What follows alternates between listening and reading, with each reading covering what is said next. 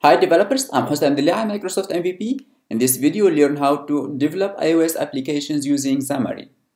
Exactly here, we'll learn how to use the UI table view to show a list of names. To build this application, I'll use Xamarin Studio, create a new solution, go to iOS app, single view app, hit next, give our application a name, let's call it UI table view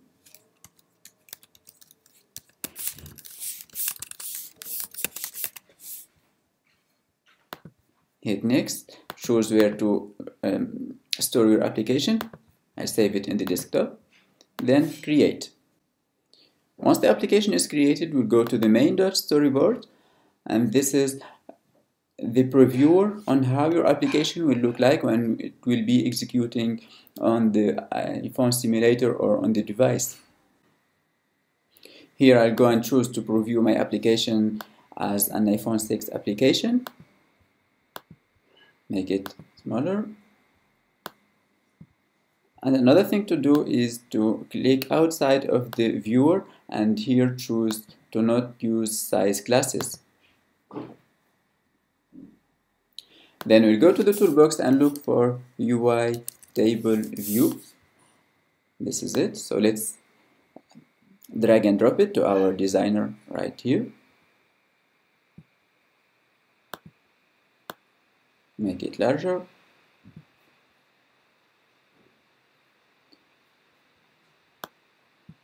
And let's give it a name until the widgets here. So let's call it names table or names table view. Then we'll go to the view controller to add the data that will be shown inside this table. So let's create the list that will be shown for that table. For that here I'll use uh, the view did load.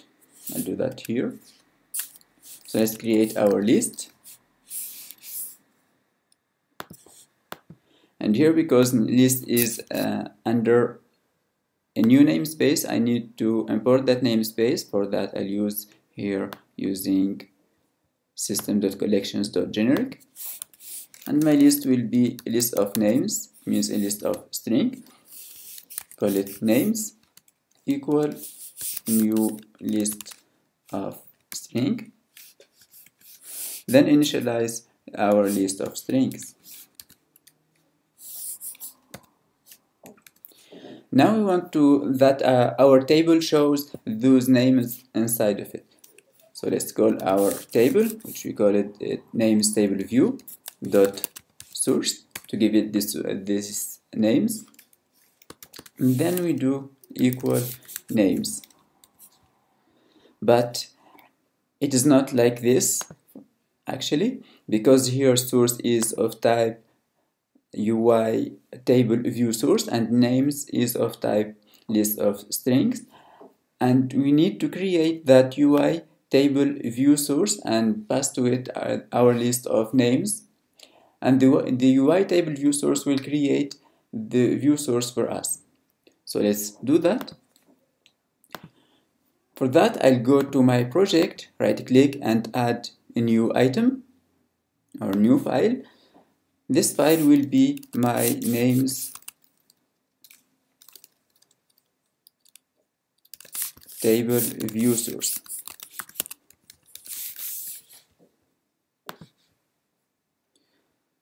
So this class should inherit from the UI table view source.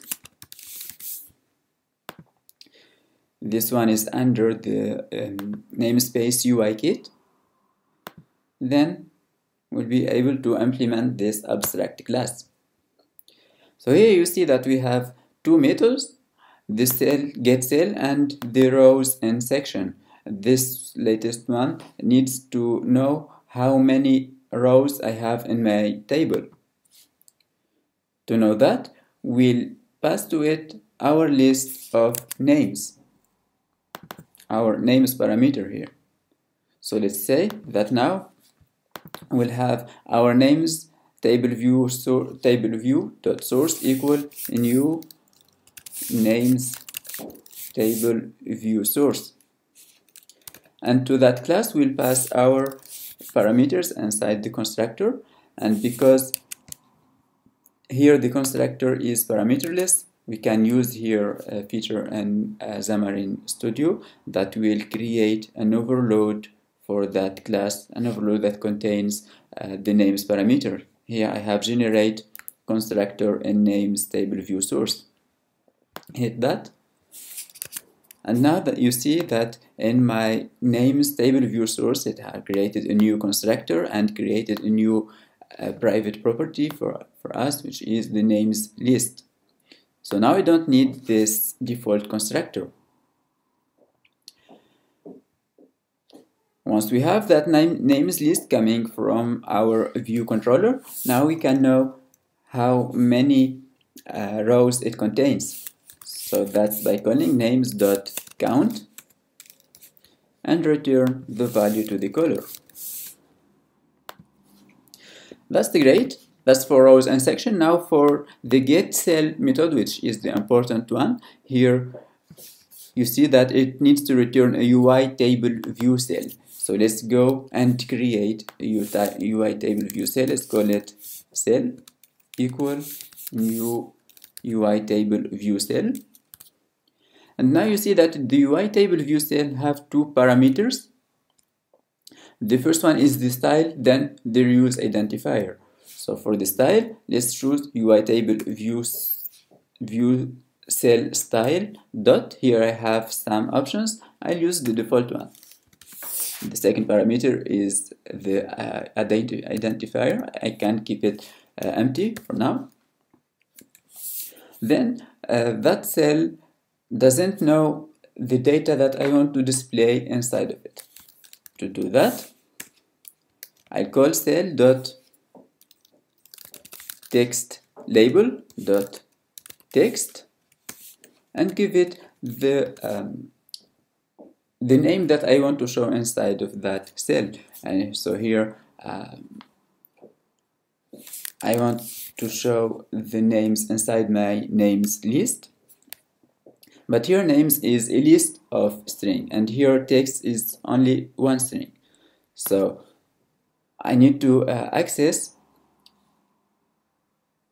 the right index from the list to show it in the right index from the in the cell.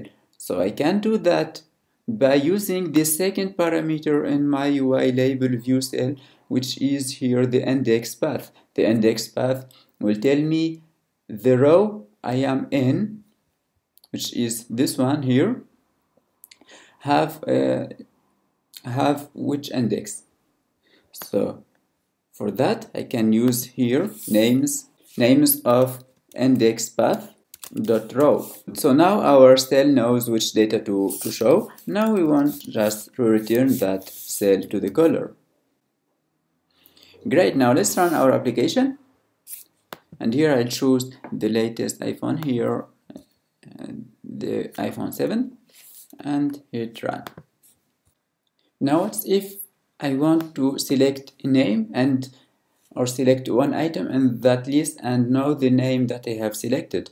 So to do that, we go back to the names table view source, create another override for a method called row selected that will be uh, executed and each time I select um, a value or a cell inside the table view. So to get the selected name, I'll go and access my names uh, list then use the index path